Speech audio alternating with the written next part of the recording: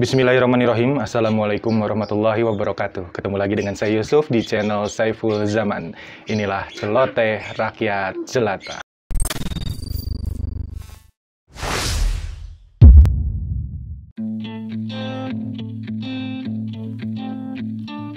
Beberapa waktu yang lalu di Instagram kita menemukan bahwasannya ada sebuah akun penjual minuman keras yang bernama Sayap Suci.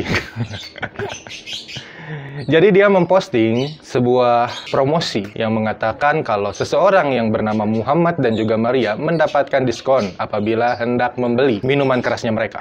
Dan akhirnya postingan ini dihapus dan diganti dengan nama Mario dan Maria. Saya paham sebenarnya maksud dari yang bersangkutan ini adalah mempromosikan keragaman umat beragama dalam postingan Instagram tersebut. Jadi tidak sekedar promosi barang dagangannya. Tapi dia lupa kalau dalam Islam minuman keras benar-benar diharamkan dan apabila ada orang yang mengaku Islam lalu dia ternyata membeli minuman keras, ya itu udah bukan urusannya umat Islam, tapi dengan seseorang menjadikan nama yang pasti namanya orang Islam, Muhammad itu kan nama yang tidak mungkin dimiliki oleh agama lain.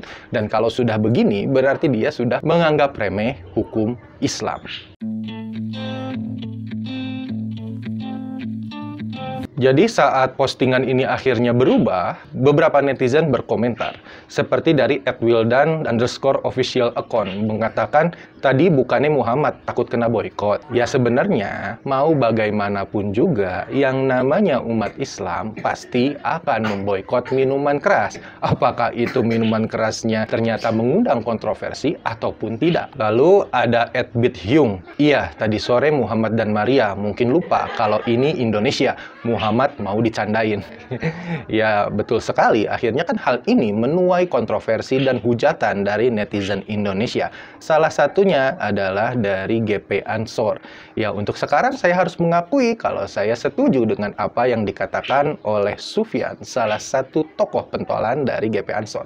Dia mengatakan kami tidak mempermasalahkan kegiatan yang selama ini berlangsung di Holy Wings. Tapi jika itu berkaitan dengan simbol-simbol kebanggaan kami yang digunakan untuk hal yang tidak tepat, maka kami akan bersuara lantang untuk melawan kegiatan tersebut. Ya betul, kalau misalkan memang dia sudah tidak bisa dilarang, tidak bisa dinasehati, ya mau bagaimana lagi.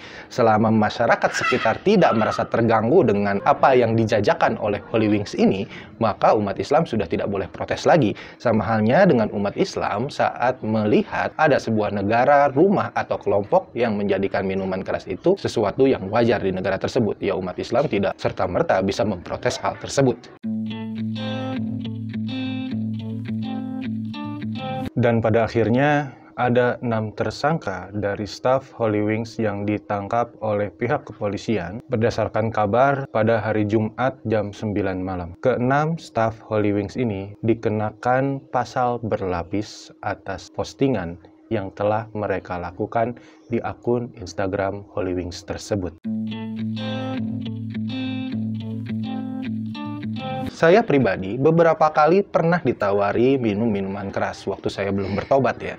Dan saat itu saya kerap sekali menolak minuman keras karena saya benci yang namanya tipsi. Tipsi ini adalah sebuah keadaan saat seseorang mabuk. Jadi saat kita mabuk, lalu kita bisa sampai ke satu tempat dengan selamat walaupun tidak sadar. Lalu saat kita menjawab pertanyaan-pertanyaan orang, itu berasal dari apa yang disebut alam bawah sadar kita. Dan baik alam sadar maupun alam bawah sadar adalah dua hal yang penting dalam diri manusia. Tanpa alam bawah sadar, manusia ini akan melakukan segala sesuatu dengan capek, Bayangkan saja saat kita harus pergi ke satu tempat dan kita terus-menerus harus dalam keadaan sadar, maka ini adalah sesuatu kegiatan yang melelahkan.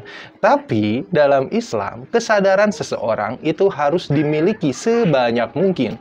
Jadi kalau sebisa mungkin kita harus tetap dalam keadaan sadar. Sadar kalau diri kita ini orang Islam, sadar kalau diri kita ini adalah hambanya Allah, dan sadar kalau kita ini sedang melakukan sesuatu untuk beribadah kepada kepada Allah Subhanahu wa taala. Oleh karena itulah, di banyak buku hadis kita menemukan kalau bab niat ini adalah bab yang pertama.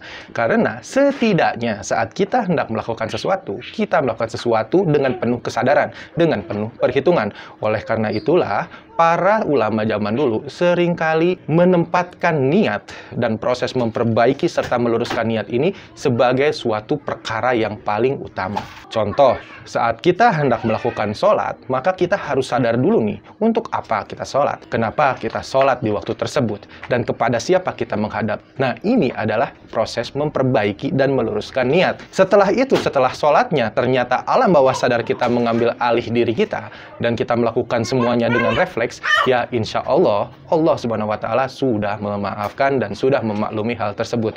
Oleh karena itu, hadis gacoannya jelas, semua amalan bergantung daripada niatnya. Betul deh?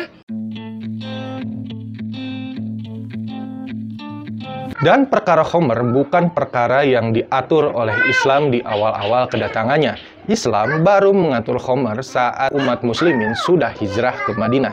Dan Rasulullah sendiri merupakan sosok yang kerap minum minuman keras dan menyajikan minuman keras kepada para tamunya sebelum hukum ini diturunkan. Akhirnya turun ayat-ayat yang mengharamkan Homer. Dan saat para sahabat serta Rasulullah mendengar kabar tersebut, orang-orang Arab yang memang rata-rata adalah ahli mabuk. Mereka semua akhirnya nurut langsung dan membuang seluruh homer yang ada di rumah mereka hingga kota Madinah dikisahkan saat itu banjir homer.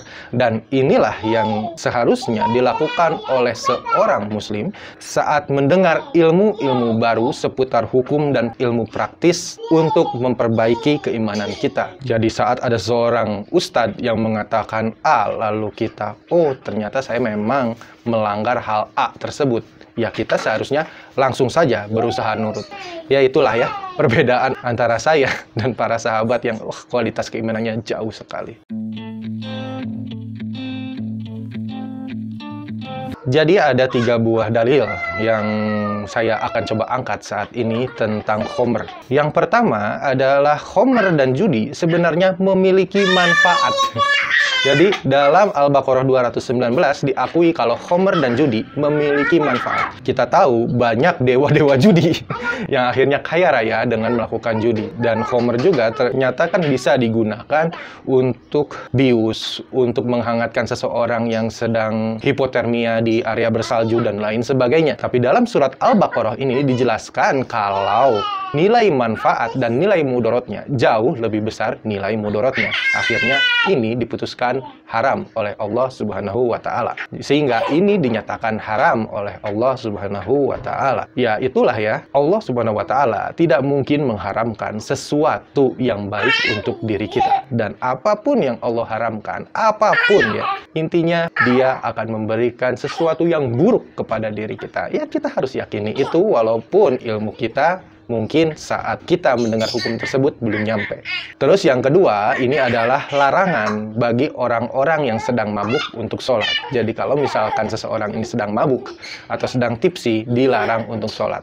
Ya itu dia, balik lagi kepada apa yang saya katakan di awal video. Sebagai umat Islam, sebaiknya kita melakukan segala sesuatu dengan sadar. Bayangkan saat seseorang harus melaksanakan sholat dalam keadaan tipsi. Dan yang terakhir adalah dari hadis, di mana dijelaskan kalau Homer dan minuman keras itu, segala zat yang dikandungnya ini sudah dilaknat. Sehingga orang yang meminumnya, orang yang menuangkannya, orang yang menjualnya, orang yang membelinya, orang yang memerasnya, maksudnya yang bikinnya, lalu orang yang minta diperaskan, maksudnya bos dari orang yang memeras minuman keras tersebut saat dibikin, lalu orang yang membawakannya, maksudnya tukang deliverynya, dan orang yang meminta untuk diantarkan, dan orang yang memakan harganya. Nah, ini adalah pemegang saham dan lain sebagainya. Kita jadi ingat ya kisah dulu waktu di Jakarta ternyata Ahok ini menyimpan dana kota Jakarta untuk bisnis Homer. Kira-kira seperti itu waktu itu. Dan ini ternyata semuanya diharamkan dan ini sangat detail sekali ya. Segala sesuatu yang berkaitan dengan Homer, apa pun alasannya,